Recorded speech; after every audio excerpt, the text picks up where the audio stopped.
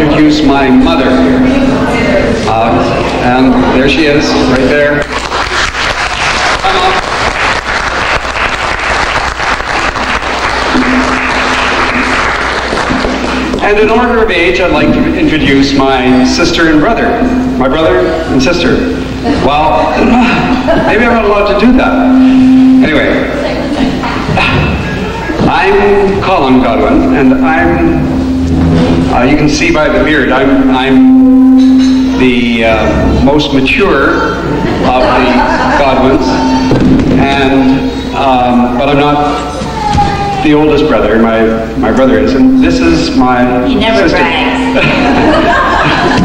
um, so this is my sister Isabel, and uh, before she starts, I'd like to introduce my brother Garth. I don't want to introduce anybody else because have a terrible time with names. To start uh, the festivities this afternoon, I'd like my sister Isabel Wiz to propose a toast to my mother.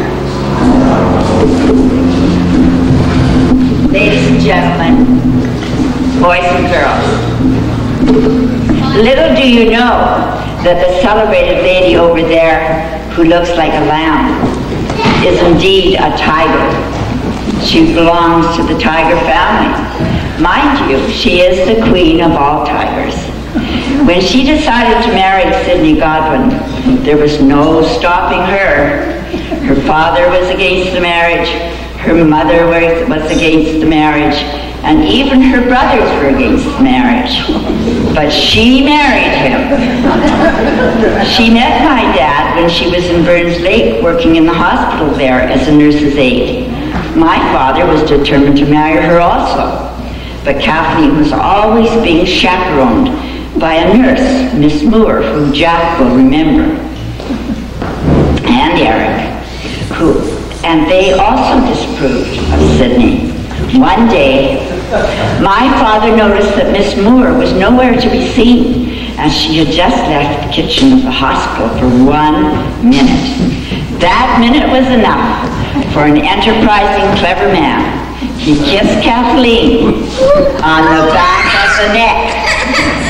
From there on, my mother was a lost woman. Kathleen made four wise choices. She chose outstanding parents, fine brothers, a loving husband, and a wonderful son, Garth. As for Isabel and Colin, well, she is ever loyal to them. But they grew up to be tigers, too. However, no, now that they are no longer in their teens, they recognize her as the queen of all tigers. So raise your glasses in memory of Sydney, the king of tigers, and to his queen, Kathleen, a toast to Kathleen.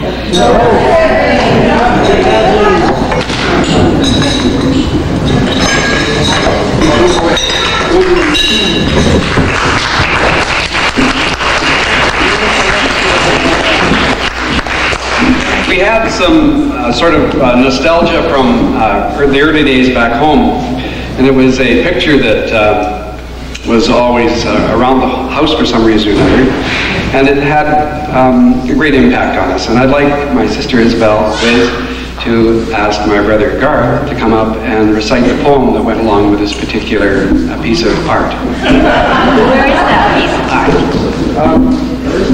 Where is that piece of art? Maybe it's not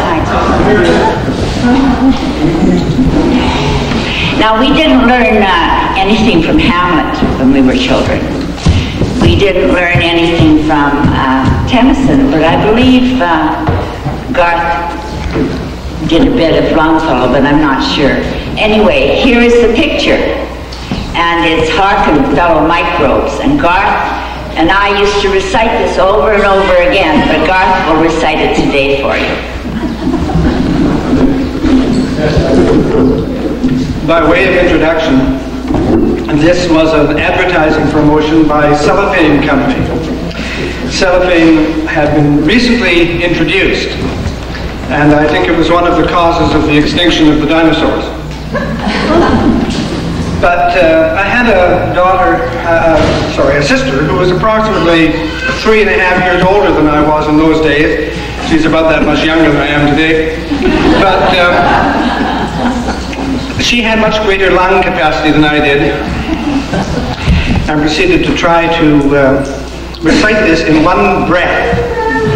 So I will see if 65-year-old lungs can keep up to what we learned, this deathless prose, because it really isn't poetry. Hearken, fellow microbes, while I do explain the great injustice to us all that comes from cellophane. No longer can we in cakes and their apartments full of pumps and boys and girls make very ill. We let poor ancient rights daily grow more thin as better subject to the exercise living in our reminds the microbes, all the microbes but they will because it is all they can do.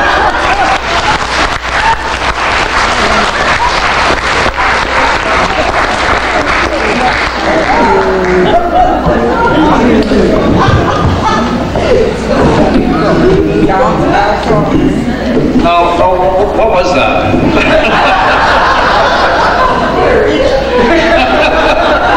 Oh, would like me to read it?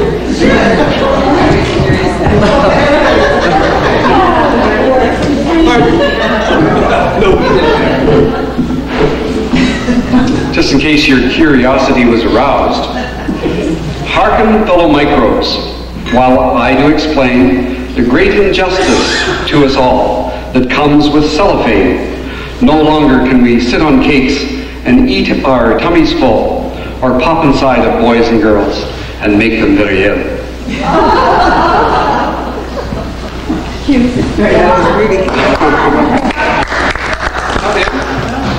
Shall we let go our ancient rights? Did you do that part too?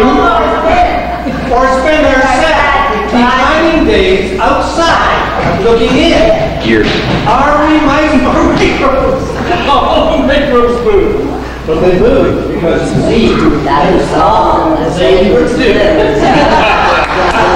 It was before my time.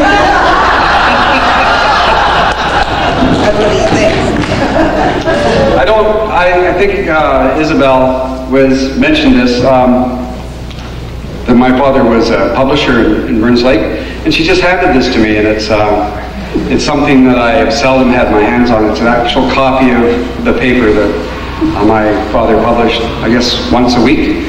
My mother used to, she used to tell stories how she used to take this big platinum bar and pull the bar and print the paper, and uh, as she was a printer's apprentice, I guess, Burns Lake. So there's a copy of it here, anyone's interested in. Well, I think we should start with the more formal part of our uh, afternoon. I think uh, uh, we have uh, um, Kathleen and Clarice Bourne, uh, who would like to perform a number called uh, Knees Up, Mother Godwin, oh, Mother Brown, and Two Little Robins.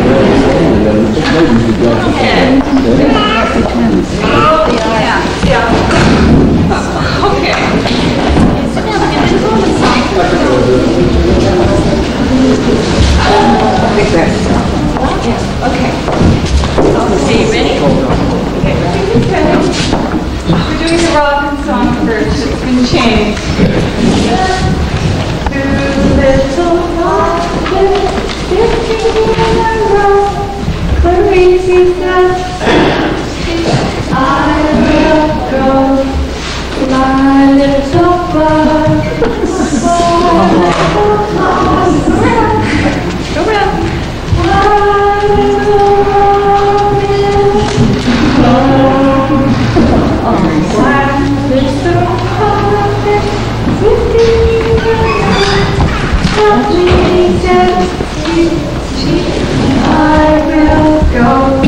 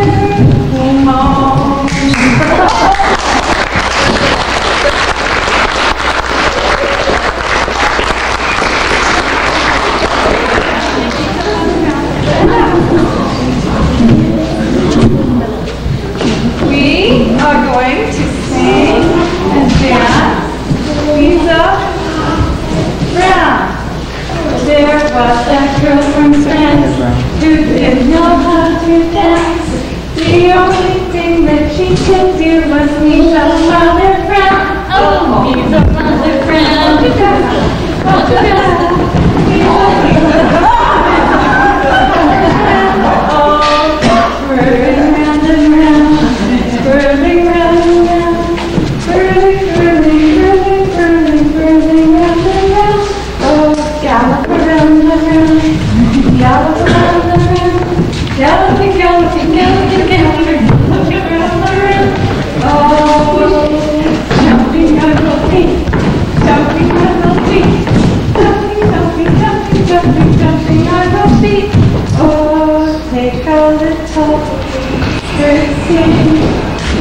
the pathway curtsy.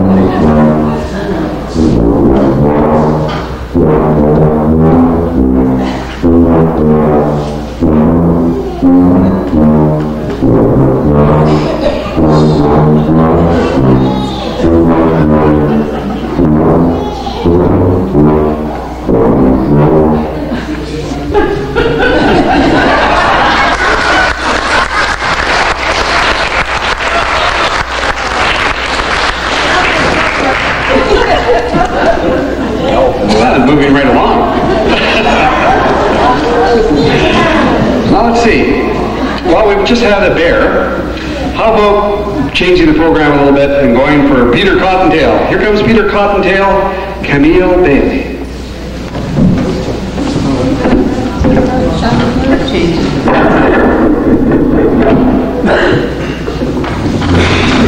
Come center stage. Uh, give her, pull the microphone out of there and give it to her. Let her hold the mic in her hand.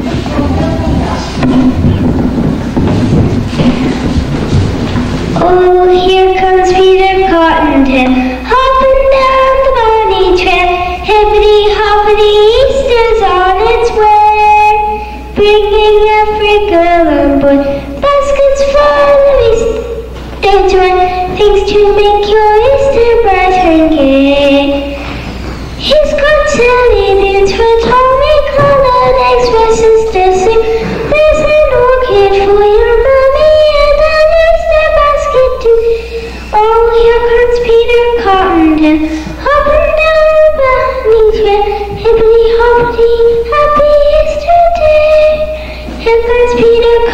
him.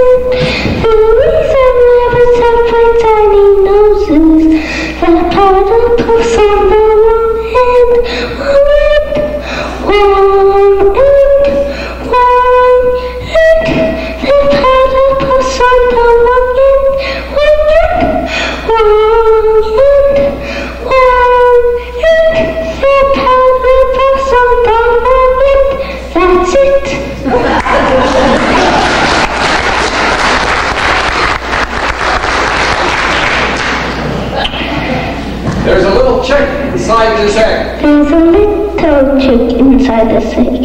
Peck, peck, peck, there's a little chick. Peck, peck, peck, inside this egg. Goodness gracious, I see you. Peck, peck, peck, coming out of this egg.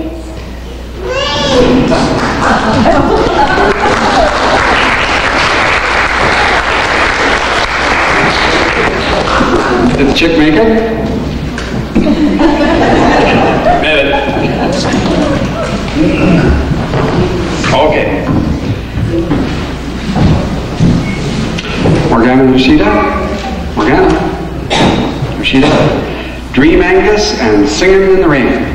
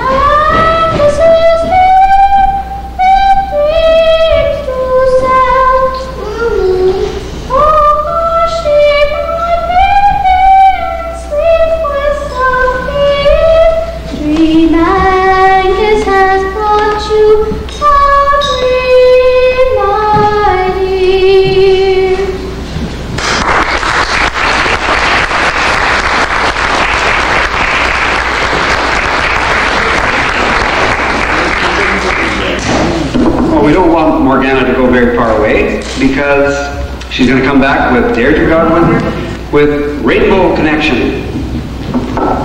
Do you want microphones for this one? You Oh, uh, sorry. Did I? Yeah. Yeah. Oh. That's uh, two songs. Yeah. Three Mangus and Singing in the Rain. You have, to do two things here. Rihanna, please come back and do Singing in the Rain. Don, do you want me to take over? Yeah, might as well.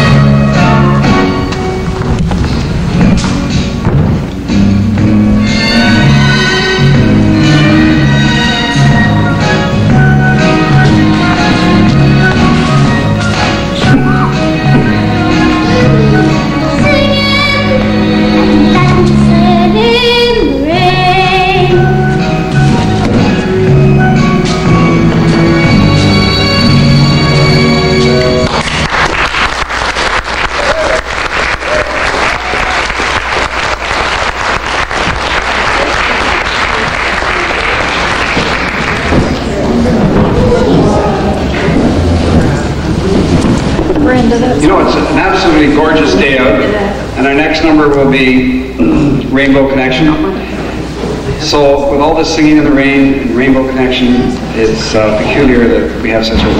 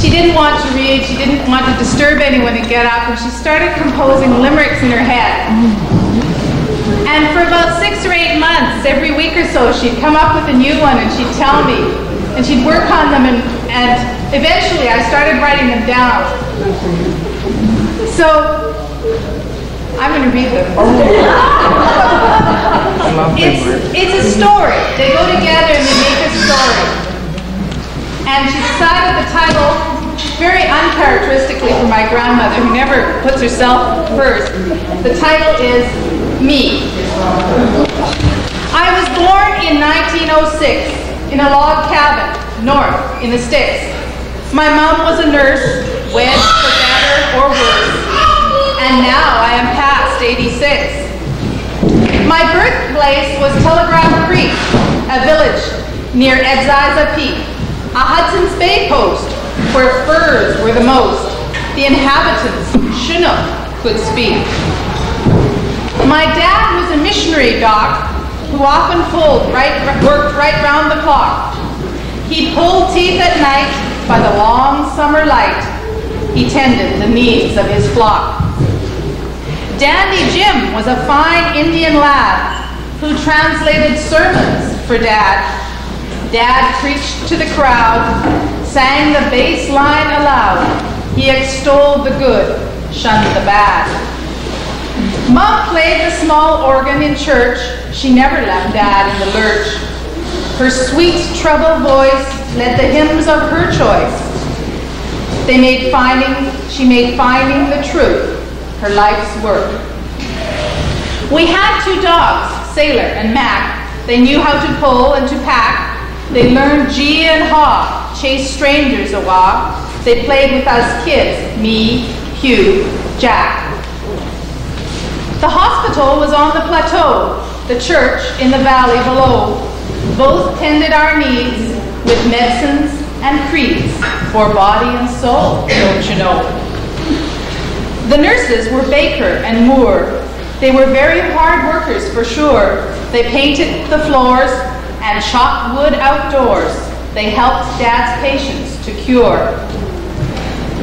The shaman was old Etmata, the weirdest man I ever saw. His eyes were so bright, they gave me a fright. I ran indoors to my mom. He would sit on the steps by the door, watching Mom as she swept the plank floor. Next day in the yard, she shook his hand hard. Skookum Poochman, he cried, and came no more. The law was upheld by Judge Porter. He had neither a son nor a daughter. But he had a sweet wife, the joy of his life. They both went to church, as they oughter. Clara Adsit, my pal from next door, used to play with me when I was four. Her mother tanned skins, then made moccasins, embroidered with beads from the store. Mrs. Adsit made sopalali from fruit picked by Clara and me. It was bitter but sweet, a foamy taste treat, a quencher for thirst if need be. The Simpson girls, numbering three, used to run down the hill to see me. Ethel and Edith are gone, but young Florence still lingers on in the south in a home by the sea. The stern wheelers docked down the street. The wharf was a good place to meet. The boat brought the mail and freight by the bale and fresh fruits for people to eat. Our garden was up in the glen. We grew veggies and flowers, and when summer was o'er, we had carrots galore, which we shared with our neighbors and friends. Sawmill Lake was a few miles away. It was icebound, November to May. The men made a rink, played hockey, I think. Our dogs took us there in a sleigh. Early on, I had a great wish. I wanted to learn how to fish. Lots came for a look, but would not take the hook, so I had to go home without fish. On a very cold morning in May, I dressed and went outside to play. Crossed the road to the creek, slipped and fell with a shriek. Mom came on the run, saved the day. I once kissed a little green frog, which I found by an old fallen log. Mom knew how to cope, washed my mouth out with soap, then sent me to play with the dog. by Kathleen Godwin.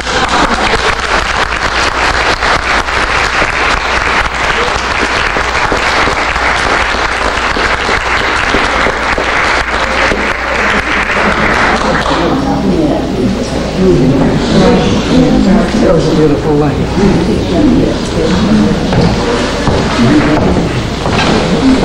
Well, that's a very hard act to follow. Yes, yes, yes. La Bamba. Bruce Jacob. Ulysses McCarthy. I need to.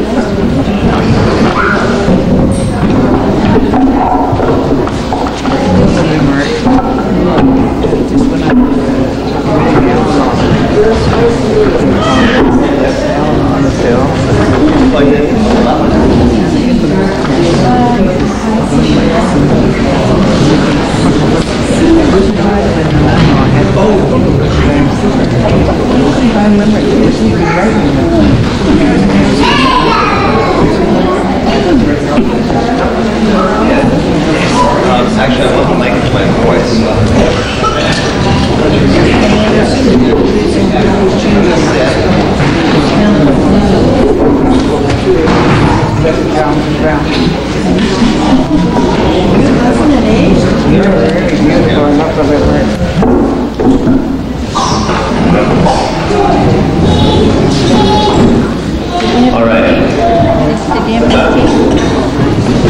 No, it's just me. Just Bruce.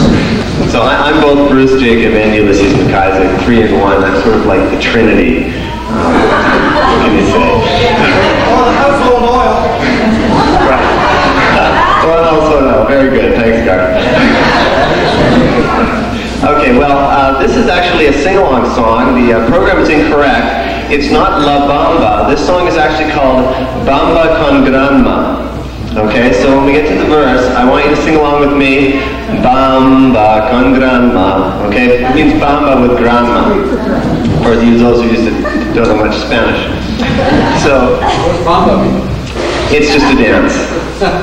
So this is the song about dancing with grandma. Okay, here we go.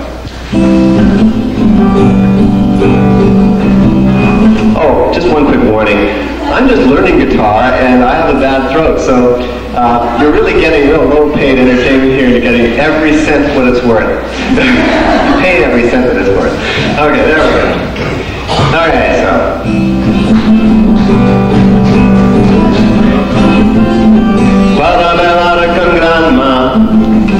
Para grandma se necesita música de viola, música de viola y si lo tiene no pararé bailando, no pararé bailando, baila toda noche, baila toda noche, toda noche. Okay, this is where you come in, everybody. Ba bamba con grandma, bam bamba con grandma, bamba bamba con grandma. In order to dance with grandma, in order to dance with grandma, you need to have music of the viola. Music of the viola, and if you have it, she will not stop dancing.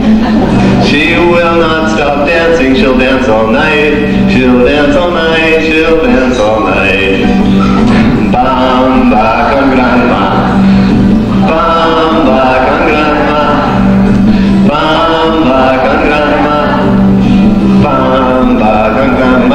tener 900, para tener 900 se necesito tomar la cerveza. Tomar la cerveza y fume cigarrillos es un acercrito. Es un acercrito, pero sabemos, pero sabemos, sí sabemos.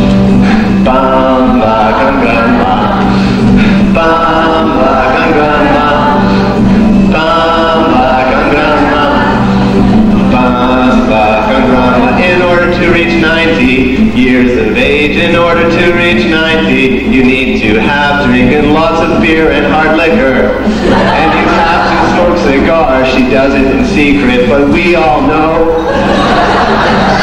Yes, we all know. Yes, we all know. Bamba con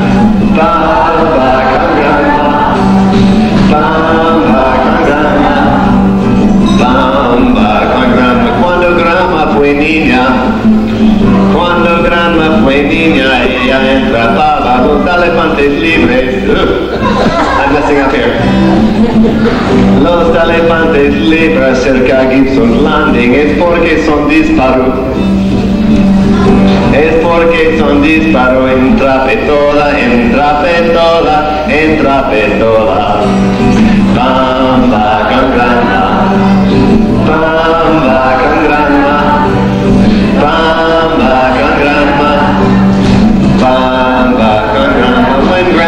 girl, when grandma was just a girl, she used to capture the wild elephants.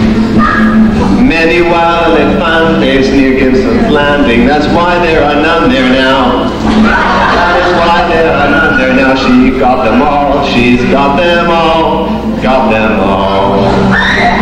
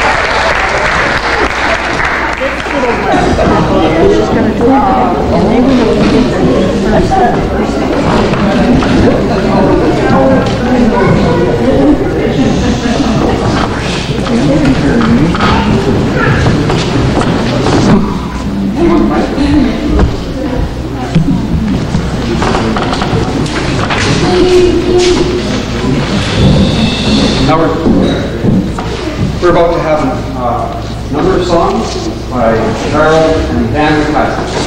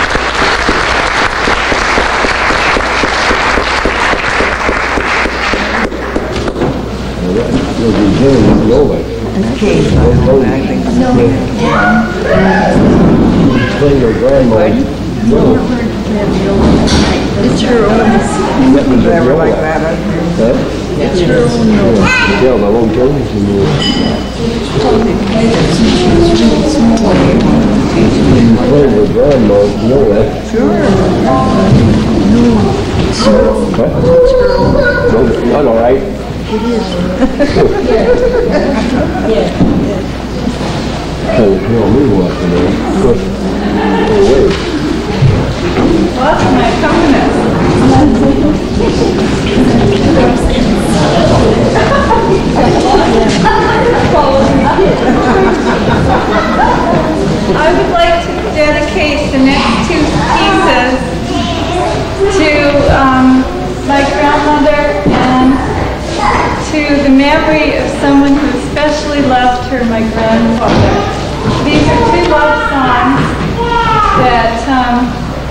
brother and I have chosen one is Annie Laurie and Shenandoah, and we're playing them together.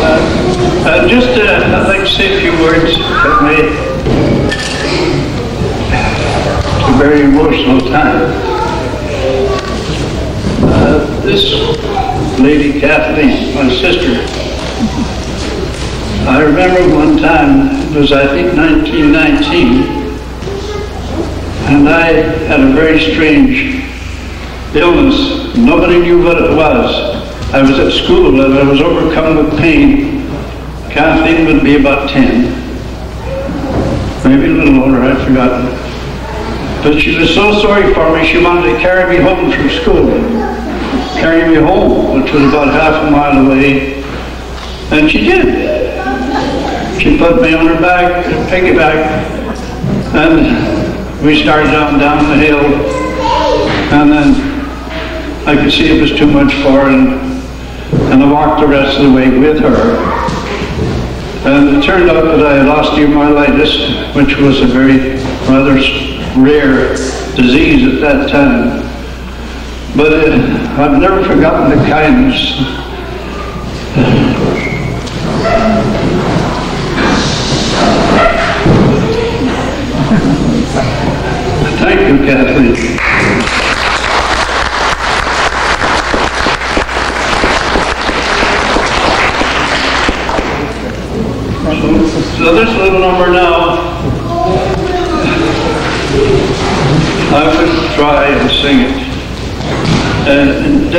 to my sister Kathleen.